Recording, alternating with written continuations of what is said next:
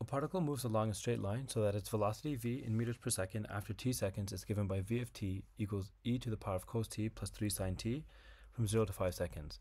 Find the value of t when the particle is at rest, find the acceleration of the particle when it changes direction, find the total distance traveled by the particle. Now, this is from the IBDP um, formula booklet, so I, presume, I assume that you would have known that this is what you'd have to look for, so I included it there for you.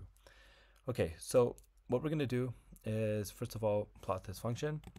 Okay, so let's just put, use this button, make sure that E is bold so we, it knows that it's referring to not a variable, but the, the constant, Euler's constant, and let's do cos x plus 3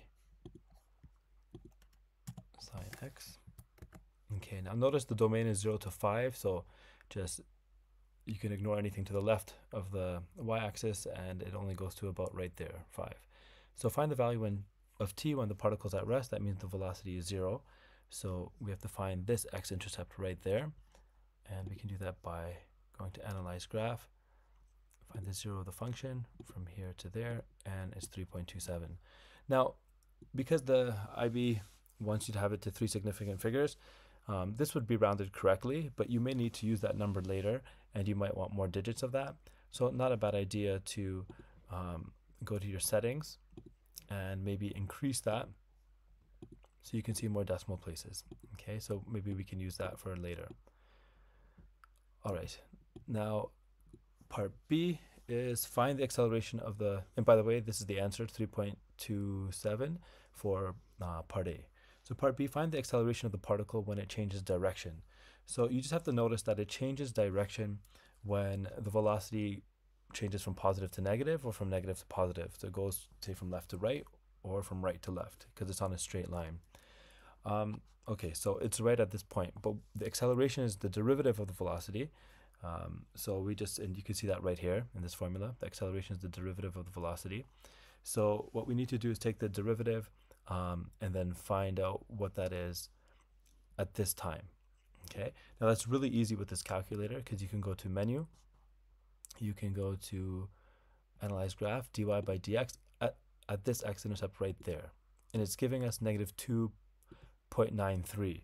So we can double check that by simply, let's press tab, let's take the derivative of the original function, which we can do from here. Okay, and we want to take the derivative of the original function, which is stored in the variable right here, var. Okay, and this is in terms of x. So hit enter, and let's just check this. Okay, let's check to see if when we substitute 3.265 into this function, if it gives us uh, that answer. So we can go to menu, analyze graph, um, and, oh, sorry, trace, Okay, and we can just press up or down to switch which curve are we looking at. We're looking at the red one. And then simply just type in this number, 3.265, 3 points. So it's letting x equal 3.26548. And you can see it's giving us negative 2.9312, which is right down here. Okay, another way we could have done that is if we go to uh, the screen, notice that our variables are now stored. So this is the original function that we plotted. So you can find the y-intercept, for example, by just substituting in 0 right there, and it's e. Okay, and notice that the derivative function is also here. So we can find the y-intercept by doing the same thing. That's of the derivative function. Okay, so we wanted to find the acceleration when the particle is at rest, which was, this is the acceleration function, and we can substitute in the number that we had from here. We could copy and paste this, okay, um, this control C, that could work. I'm just gonna memorize the first few digits, 3.26548, 3.265, 3.26548, okay, and it's negative 2.93 to three significant figures. Okay, so that's another way to do that. Okay, so part C, find the total distance traveled by the particle.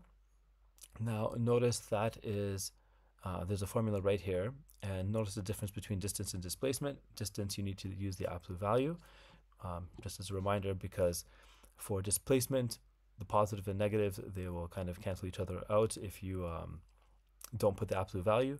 So we want to add the what's above and below the x-axis, and we can do that by using the absolute value. So simply just come over here. Um, we can do, we can use this button. Where is it? Right over here. Okay, and from 0 to 5 of, we need the absolute value now. So let's use this. And we will do the original function, which is f1 of x dx, and it is 12.7. Um, yeah, and that should be everything there. We can also just play around maybe a little bit here. I am going to hide that. Okay, so we're just looking at the blue function. So notice that if you wanted to, you could have done the, say, the integral from 0 all the way to 5. Okay, and it's giving us this number, okay, which is 7.33. So notice our, our answer was 12.66. So what's the difference there? Well, let's just do the other one, which is uh, displacement. Okay, so 0 to 5, no absolute value this time. f1 of x dx. And you can see that 7.33 is this answer. So what it's doing is it's taking the above the x-axis as a positive value, below it as a negative, um, and when adding that together, it makes it smaller, which doesn't make sense for total distance, but it does for a displacement. Okay, so to be clear, the answer is 12.7 for this because it's total distance travel and we need the absolute value. And that's that.